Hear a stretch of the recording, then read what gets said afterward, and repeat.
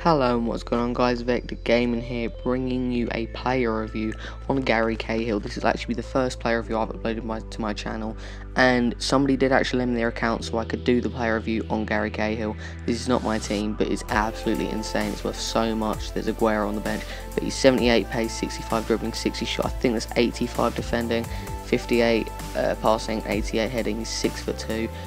My friend actually picked him up for 177k. So that was, to be fair, that's actually quite cheap. And how good he is in game is absolutely insane. His pace is look at look at his pace. Good, nice chip back to the goalkeeper. But because of his pace, it's just unbelievable. He's so his pace is so much faster in game.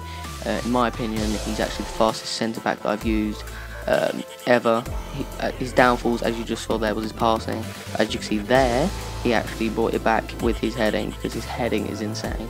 And uh, if he makes a mistake, he can basically make up for it. That's what I'm trying to say.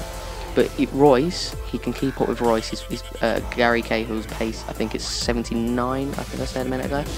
I'm not 100% sure, but um, I'm pretty sure it's 79. And Reus's pace is 90 on 91 or something around there. So, con so considering he managed to keep up with him that much, it's absolutely unbelievable. Um, as you saw just there again, like the uh, the pace is absolutely insane. He managed to keep the ball in using his pace. Um, he's probably the best defender I've ever used. He's obviously his team this season, and that kind of explains it. And the reason his passing is off is because it's uh, fit like 58 or something. Obviously, that kind of excuses the fact that his pace is so bad because it says it in his stats.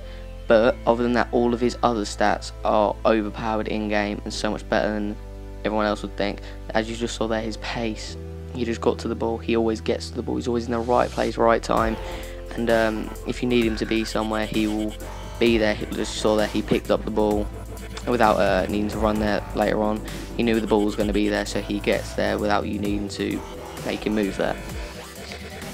My rating is uh, very high for this type of player. As you saw, as you can see right now, it's 9.1 out of 10. Uh, so it was 78 pace actually, so it was even lower, and he's that much faster in game. 88 heading, which is also absolutely insane. 85 defending, which is good because he's a defender, obviously. 65 dribbling, uh, 60 shot. But you don't need shot when you're a defender, obviously, though. So that's a good thing as well. So 58 um, passing. That's not best passing, but obviously, you know what I mean. 58 passing, as you can see on the left, there are all his uh, strengths and weaknesses. He's 85 overall. I rate him 9 out, well, 9.1 out of 10. He's absolutely insane. Don't pick him up. He's getting cheaper and cheaper.